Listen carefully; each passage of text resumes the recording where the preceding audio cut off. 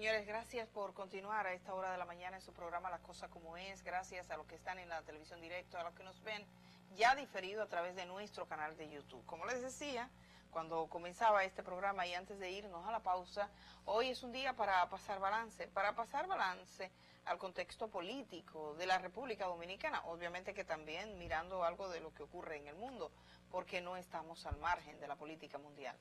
Para ello hemos invitado a la socióloga Rosario Espinal, que nos ha acompañado muchísimas veces. Buenos días, Rosario, gracias por estar. Buenos días. Estamos en un ambiente diferente, este programa es diferido, debo decirlo.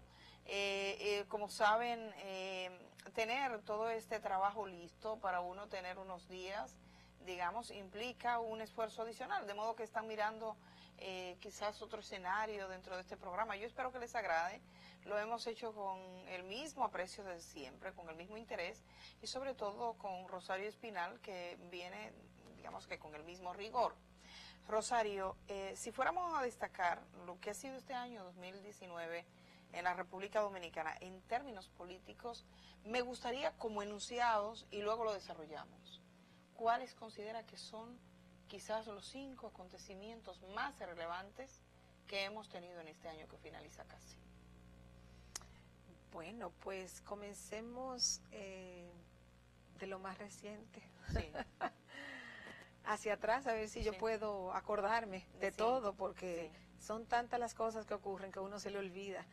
Eh, bueno, lo más reciente yo diría que fueron las primarias y sus consecuencias.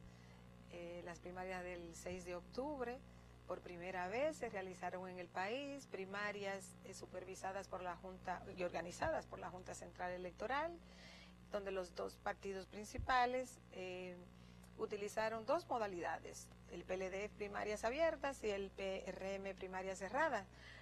Pero todos participaban conjuntamente, es decir, iban a una mesa electoral a votar, todo el mundo. Eso fue una novedad, ese formato de primarias, aquí no se había hecho así conjuntamente.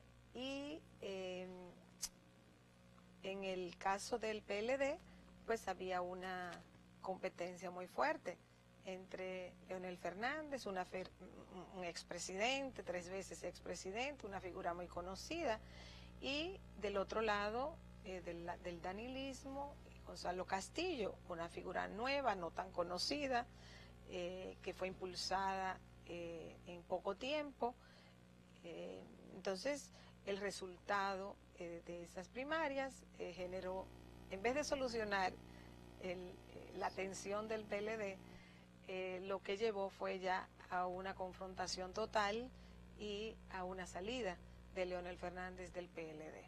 O sea que si, que si apostaron a que las primarias iban a resolver el problema y todo que iba a quedar apaciguado, pues no fue así, sino que generó esa fragmentación en el PLD. Y con la salida de Leonel Fernández, pues se produce la división del último partido importante del sistema que no se había dividido. Porque ya el Partido Reformista se había dividido varias veces, el PRD se había dividido en el 2013 y de ahí surgió el PRM, solo quedaba el PLD sin dividirse y ya se dividió.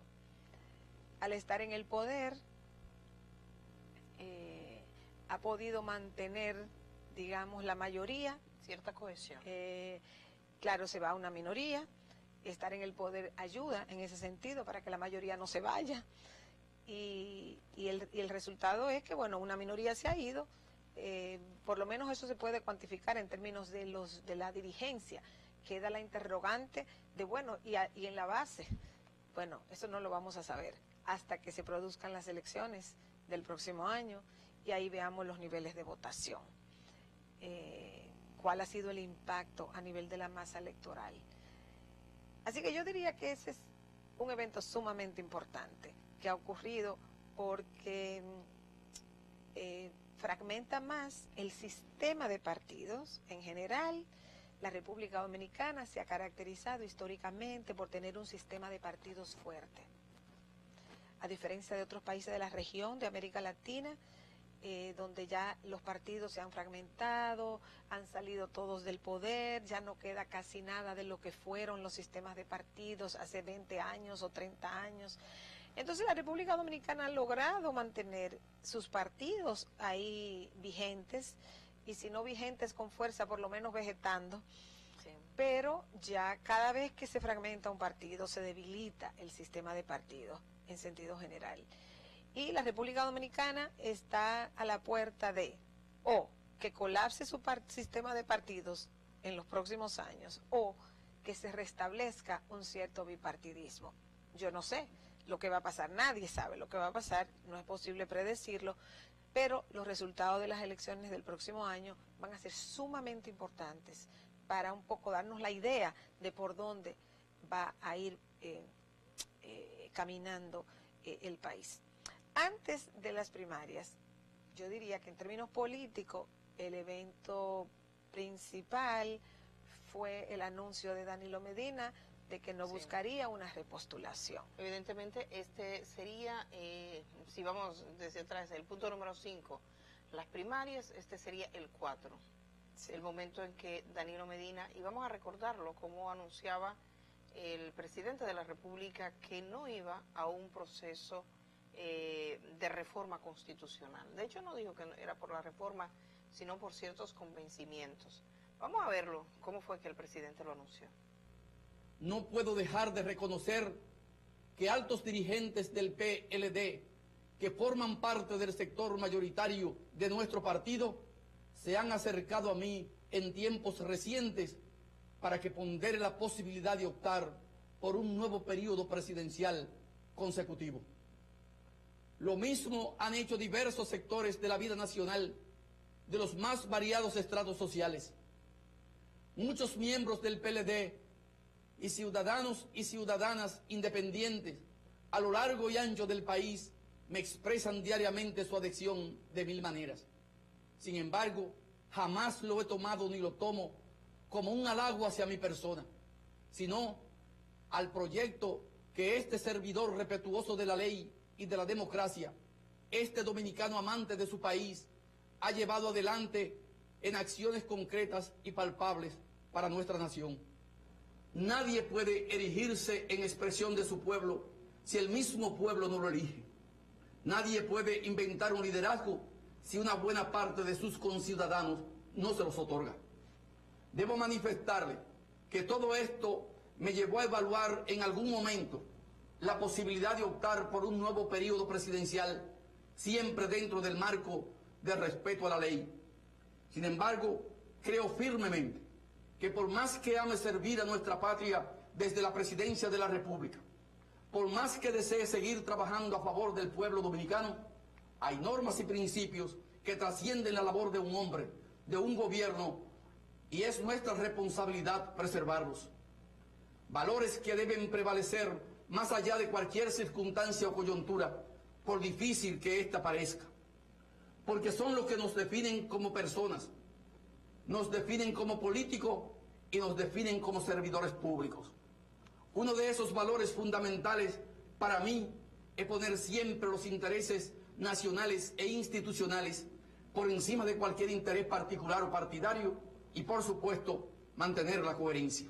A lo largo de estos siete años todos mis esfuerzos y desvelos han estado dedicados a procurar dar fiel cumplimiento con la ayuda de Dios y el apoyo de mis colaboradores en el gobierno a cada uno de los compromisos que asumimos con el pueblo dominicano. Edith Febles, la cosa como es. Bueno, Rosario, acabamos de ver al presidente de la República. Y, creo que hay acontecimientos políticos secundarios en torno a esa decisión de Danilo Medina de no presentarse a una reforma constitucional, de no optar por una reforma constitucional que le permitiese eh, entrar en una candidatura. Lo mantuvo hasta el último momento. Yo quiero que, usted lo analice, eh, pero que tome en cuenta elementos como la llamada de Pompeo, fue muy popular en República Dominicana, hasta qué punto eh, es cierto o no, se puede considerar que fue relevante para la decisión del presidente algún tipo de postura estadounidense. Eso por un lado. Eh, lo segundo fue que probablemente ese proceso profundizó las diferencias entre él y el doctor Leonel Fernández. El doctor Leonel Fernández, y lo podemos ver en esas imágenes que quedaron para la historia, se presentó a protestar frente al Congreso Nacional. Eso originó, eh, digamos que un nivel muy agrio en las relaciones dentro del Partido de la Liberación Dominicana. Y el tercer elemento que algunos dicen es que no contaba definitivamente con los votos suficientes dentro del Congreso para que esa reforma pasara. Podría quizás eh, ser una consecuencia de todos los factores anteriores, uno pensaba que otro, me gustaría la visión suya. Sí, la, bueno, en ese momento se debatió mucho y uno le atribuía más importancia a uno de esos factores que a otro. Y hay un cuarto factor que podríamos agregar a los tres que tú mencionaste, y es el hecho de que las encuestas por mucho tiempo registraron un alto nivel de oposición a una reforma constitucional para la repostulación. Eh, incluso era un poco paradójico porque aunque Danilo Medina registraba eh, un nivel de aprobación aceptable de su gestión, la misma gente en las mismas encuestas decían cerca de un 70% de que no aprobaban el que se reformara nuevamente la constitución para una reelección.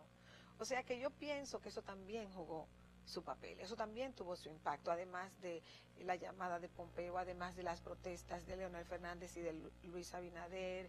Eh, eh, digamos, o, que no tuviera los votos en el Congreso, ese factor de rechazo que había en la sociedad para un cambio constitucional nuevamente para ese propósito también tiene que haber influido. O sea que habían cuatro factores, digamos, eh, operando en contra de que eso se produjera. Así que ese fue un evento importante. Creo que fue una muy buena decisión o de que esos factores llevaran a esa decisión, eh, porque hay que renovar hay que renovar el sistema político, hay que renovar los gobiernos, no pueden gobernar las mismas personas todo el tiempo. Entonces, eh, la democracia es un sistema que en cierta forma ensaya eh, con nuevas ofertas electorales. Las nuevas no necesariamente van a ser mejores, tampoco tienen que ser peores, uno nunca sabe cómo va a ser la cosa y cómo va a resultar, pero tiene que cambiar. Entonces yo, yo creo que es positivo, eh, fue positivo esa decisión. Otro aspecto político em, de, este, de este año eh, fue la aprobación eh, de, la, de, la, ley del, régimen electoral. Sí, la ley del régimen electoral. Que se hizo a principios de año, febrero, creo que fue.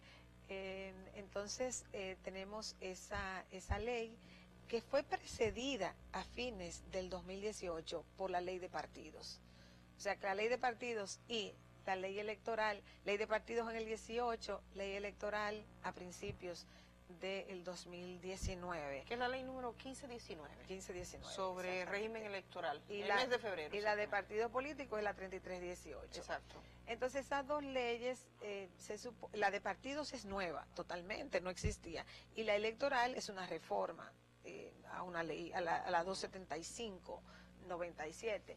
Entonces, eh, se supone que esas, ley, esas leyes iban a establecer un marco nuevo para la competencia partidaria, para la organización partidaria, para la organización de las elecciones, eh, pero esas leyes han estado, eh,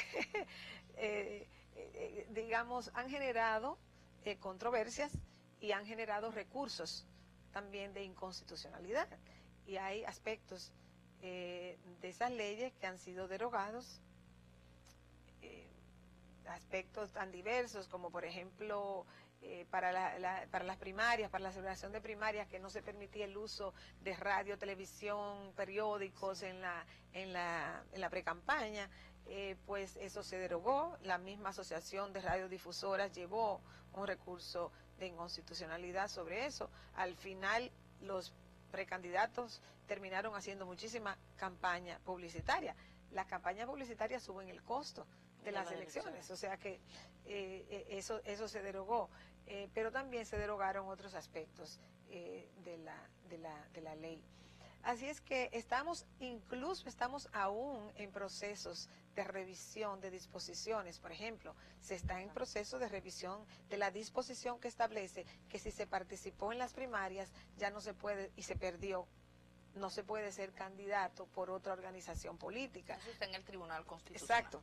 Eh, de hecho incluso por el doctor Leonel Fernández. Exacto. el, tema, del tema de la participación femenina también, de la representación de las mujeres, porque eh, estuve conversando con eh, algunos dirigentes de partido acá mismo y decían que hay un debate de si las mujeres que que estuvieron y perdieron serían las que deberían ser postuladas para cumplir con esa cuota de género eh, que es de representatividad. Sí, pero ya el Tribunal Superior Electoral. Pero ahora se, se van a ir al Tribunal Constitucional. Bueno, vamos a ver qué pasa ahí, pero ya el Tribunal Superior Electoral dictaminó cómo y si van a entrar. O sea, eh, la forma en que lo hizo es que, eh, vamos a suponer, si son cinco, vamos a suponer que son cinco diputaciones, para poner un ejemplo.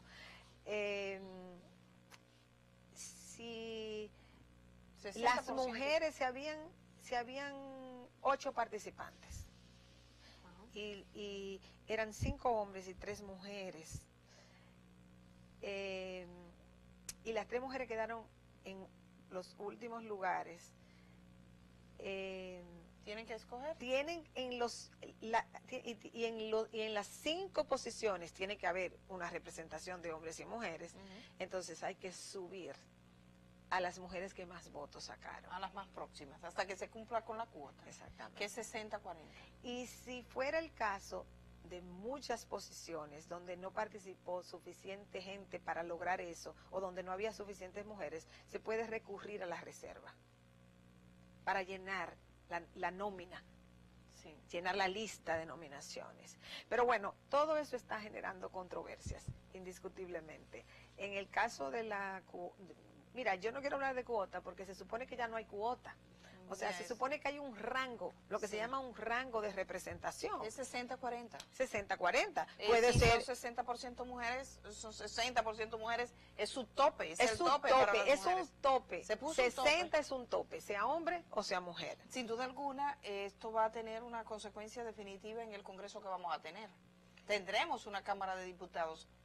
Eh, probablemente, claro, la gente vota y, y podrá decidir eh, que sabemos. uno no sabe lo que va a pasar. No, porque hay voto preferencial. Entonces el voto preferencial eh, te debilita el efecto de la cuota, porque en el voto preferencial que ahora se va a aplicar a nivel de regidores también, que no era así, porque el voto preferencial solo se aplicaba a nivel de diputaciones, ahora se va a aplicar a nivel de, eh, de regidores en las municipales. Entonces ahí viene el punto, incluso de vocales de distritos municipales. Ahí viene el punto de que aunque tú tengas un rango de representación de un mínimo de 40% para hombres o para mujeres, no te garantiza que eso va que ese porcentaje va a salir electo. Eso va a depender mucho de los votantes. Exactamente. Estamos hablando de que este ha sido un año profundamente, eh, y, no es un factor en sí mismo, no se le puede poner un tiempo. Hemos hablado eh, primero de unas primarias, hemos hablado del presidente de la República que se retira, hemos hablado de las leyes, eh, pero tenemos un ambiente generalizado de campaña electoral durante todo el año 2019, evidentemente, que eso es lo que marca este proceso y obviamente los meses por venir serán profundamente de agitación política, porque estamos en campaña ya. Entonces me gustaría una valoración sobre eso, sobre ese aspecto, esas campañas a destiempo, esos recursos, esa presencia, esa agenda, que no necesariamente es la agenda de lo que afecta a la gente. Un presidente que está en eso, que ha estado en eso durante todo el año y que estuvo, aunque dijera que no estaba por momentos, estuvo trabajando incluso buscando la posibilidad de una reforma eh, constitucional. Una valoración desde el punto de vista incluso de la institucionalidad de este país. Me voy a la pausa un momento, regresamos de una vez y continuamos conversando con Rosario Espinal sobre lo que ha sido todo este año. Ustedes también pueden hacer sus aportes, sobre todo en nuestro canal de YouTube, donde sé que la gente siempre está en ese debate en vivo.